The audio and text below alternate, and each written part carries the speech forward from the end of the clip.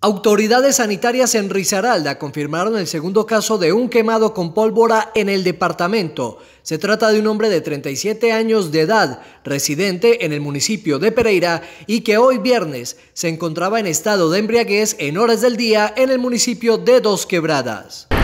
Muy desafortunado, muy desafortunado para el departamento y continuamos con la campaña de no a la pólvora en todos los municipios.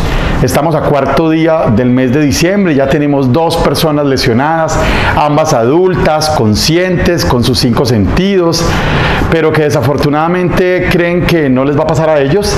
Esta segunda persona es un adulto de 37 años que se encontraba desafortunadamente también en grado de embriaguez y quemando pólvora desde un automóvil, sufre una lesión en un pulpejo de uno de sus dedos, de una de sus manos, afortunadamente con solo abulsión de tejidos y quemadura de segundo grado, sin pérdida de la estructura ósea que le va a permitir pues una buena funcionalidad. Autoridades hacen un llamado a las personas para evitar la utilización de pólvora, teniendo en cuenta la situación en la que se encuentran los hospitales por cuenta de la emergencia generada por el COVID-19.